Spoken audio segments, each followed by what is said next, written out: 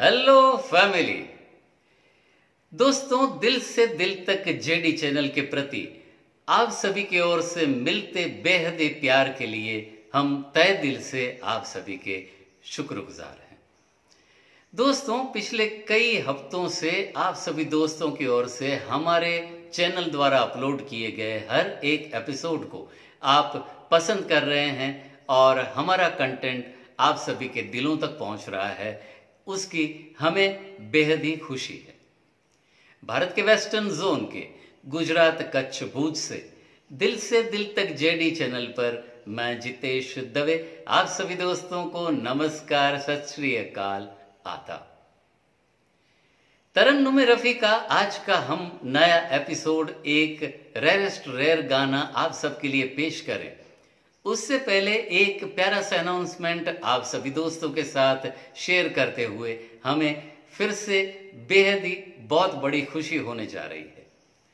दोस्तों, आप सब जानते हैं कि दिल से दिल तक जेडी चैनल के हमारे हर एक मोहम्मद रफ़ी साहब के एपिसोड के आखिर के एक स्पेशल सेगमेंट में आप सब पसंद करते हैं हमारे विचार बिंदु को सुनने का।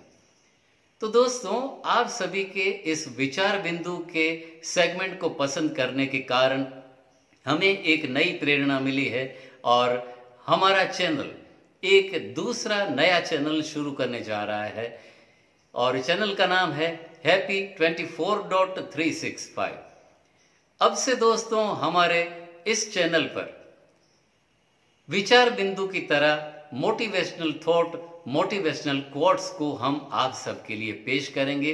दोस्तों, अगर हमारे विचार बिंदु वाले सेगमेंट को आप पसंद करते हैं तो हमारे इस चैनल को happy twenty four dot three six five screen पर जो दिख रहा है, उस नाम के चैनल को भी अगर आप चाहें तो सब्सक्राइब कर सकते हैं। चैनल का लिंक हमने इस वीडियो के डिस्क्रिप्शन बॉक्स में भी दे दिया है। तो आइए दोस्तों, आज का हमारा स्पेशल कंटेंट तरन्नुम रफ़ी का आप सबके लिए पेशे खिदमत है। साल 1966 में एक फ़िल्म आई थी। फ़िल्म का नाम था दो बदन।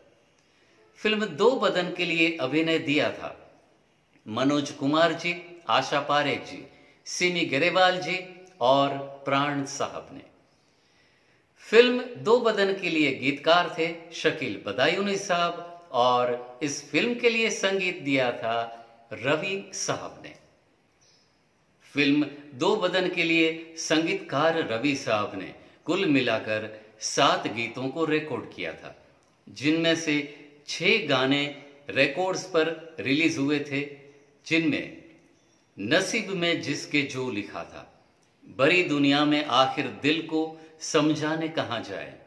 रहा गर्दिशों में हरदम मेरे इश्क का सितारा। लो आ गई उनकी याद, वो नहीं आए।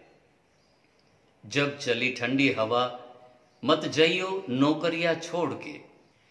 इन सभी पॉपुलर छह गीतों के साथ साथ रवि साहब ने एक गाना कंपोज किया था, सातवां गाना, जो सिर्फ़ स्क्रीन पर दिखाया गया था बैकग्राउंड के तौर पर। इस गीत का कभी भी रिकॉर्ड रिलीज़ ना हो पाया।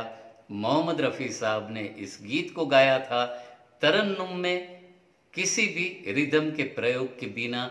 इतना सुरीला गीत था ये रवि साहब का।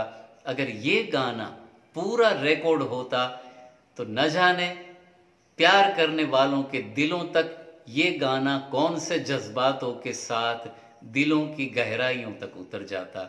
सिर्फ़ मुखड़ा बना था इस गीत का। पेश करते हैं आप सबके लिए। इस जहाँ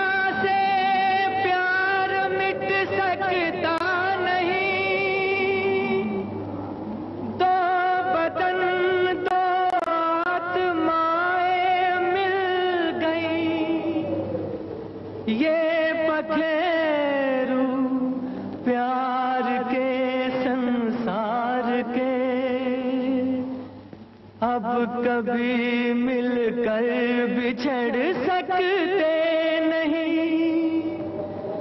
अब कभी मिलकर बिछड़ सकते नहीं। तो आइए दोस्तों, अब वक्त हो चला है आज के विचार बिंदु का। हालात को ऐसे मत होने दे कि हौसले थक जाए। हौसले ऐसे रखिए कि हालात थक जाए। दोस्तों, कैसी लगी मोहम्मद रफी साहब की जीवन यात्रा के साथ जुड़ी हुई आज की ये हमारी कहानी? ये हमें ज़रूर से लिख करके भेजिएगा। आप सभी के कमेंट्स के लिए रहते हैं हम मुंतजिर। दोस्तों, अगर आप चाहें तो हमारे वीडियोस को लाइक करिए, अपने दोस्तों के साथ शेयर करिए। अगर आप चाहें तो हमारे चैनल को सब्सक्राइब करिए और हाँ बेल नोटिफिकेशन और ऑल के बटन को ज़रूर से क्लिक करिए। आप सभी को हमारे वीडियोस के नोटिफिकेशन सबसे पहले मिल जाया करेंगे। दोस्तों, मिलेंगे मोहम्मद रफ़ी साहब की कला यात्रा के साथ जुड़ी हुई बिल्कुल ऐसी प्यारी सी नई तरोताज़ा सी कहानी के साथ। तब तक bye bye take care, save water, save our mother earth